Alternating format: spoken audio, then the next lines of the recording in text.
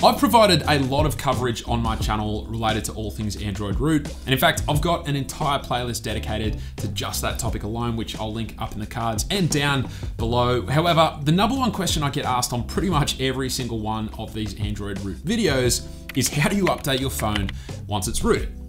And that's because once your phone is rooted, you can't just simply do a wireless over the air system update whenever a new one rolls around, because phones contain what's called a pre OTA block check, which, among other things, checks if your phone is rooted, and if it is, it'll block the update from happening. It is one of the bigger downsides to having a rooted phone, but the good news is that you can still update your phone manually with a little bit of know how.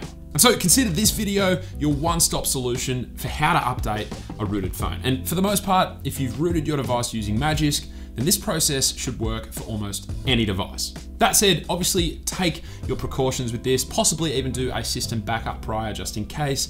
But with that being said, let's dive in. Now, the first thing to point out is that there are actually a few methods for updating a rooted phone, but I'm gonna be explaining the one that I personally use, as I find it to be not only the most universal, but also the most reliable.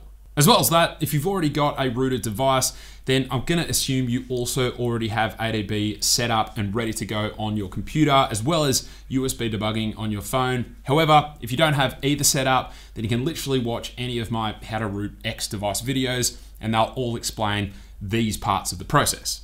I'll also leave an article linked down below if you'd prefer to just read how to do it.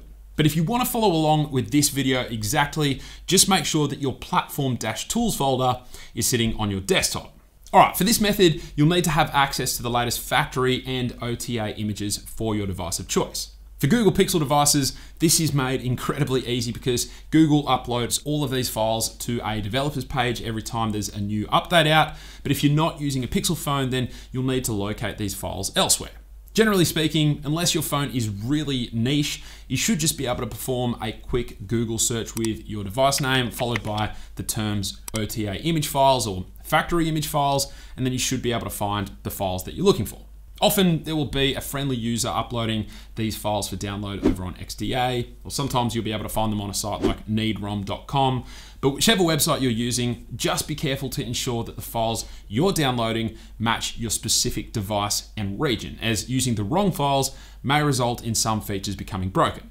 So for the Pixel 6, which will be the device that I'm using for this demonstration, like I said, on my computer, I can just navigate first to the factory images page and find the latest factory image file under the Pixel 6 section and click on link to download it. And then I can navigate to the full OTA images page and again, find and download the latest OTA files and click to download.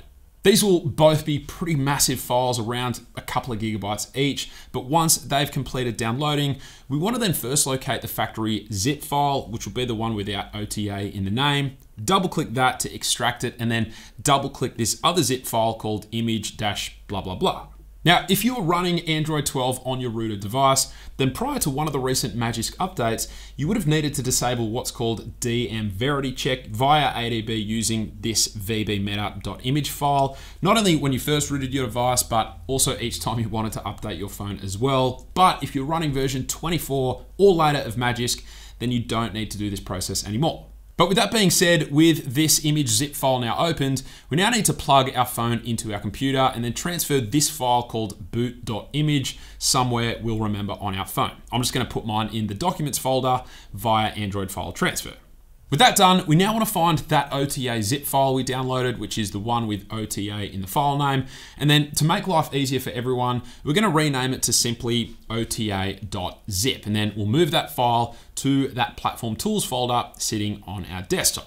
All right, with our device still plugged in, we now need to open up a command prompt application, which for me on a Mac is gonna be the terminal application, but use whichever one you have access to. And then with it open, we're gonna type the following cd space desktop and then enter, and then cd space platform dash tools and then enter. Now, just to save me from having to repeat myself a thousand times, because I'm using a Mac for this demonstration, anytime I type an ADB command, I'll need to add a dot and a slash before the word ADB. So I will keep saying it like that because that's what I'm doing. But if you're using a Windows PC, then you can just type ADB without the dot or slash. Does that make sense?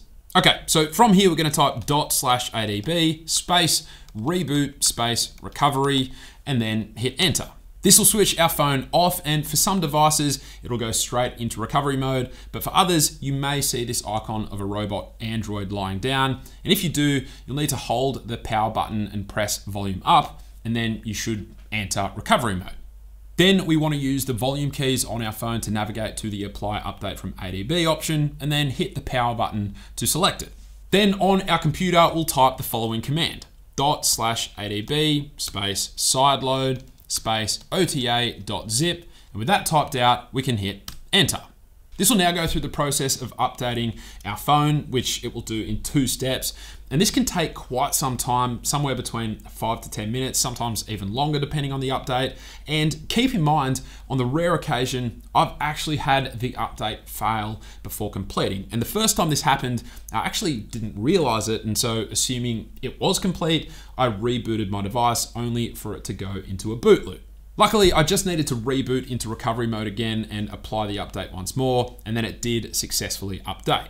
So keep that in mind. For some reason, that seems to be something that can happen from time to time with the update not completing. So just keep trying until it does successfully complete.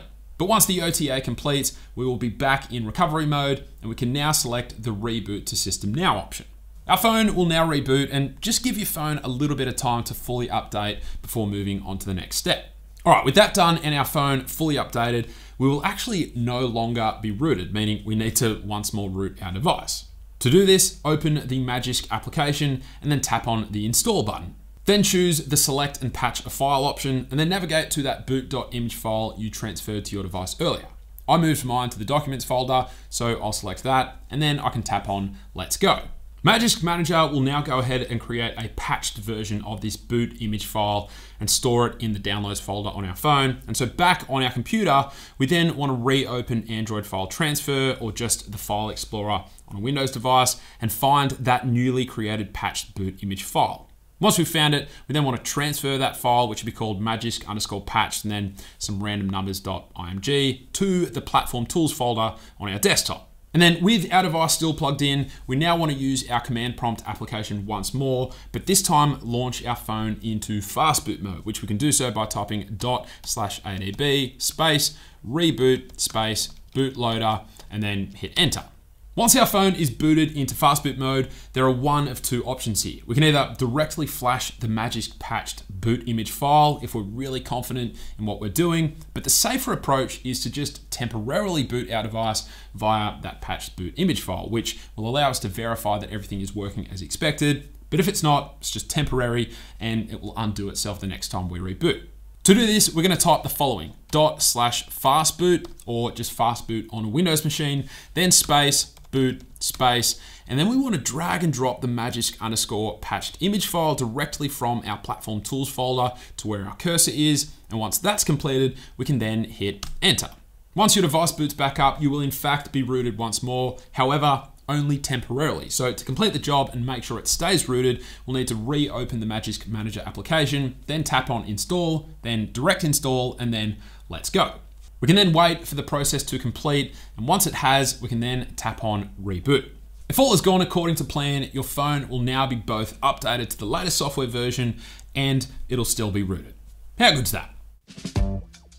Now, this is obviously a downside to having a rooted phone. However, if you've rooted your phone using Magisk in the past, then this process is honestly very much the same. And now you can just bookmark this video so that anytime you need to update your phone, you just open this one up, follow along, and you're done. Each month, it only takes me about 20 minutes or so to complete the process, and part of that time is spent actually downloading the files and waiting for the OTA update to complete. But aside from that, it's actually relatively simple and fast. And so that's it. If you found this video helpful, then a sub to the channel would be greatly appreciated. But aside from that, thank you all very much for watching, and I will catch you later.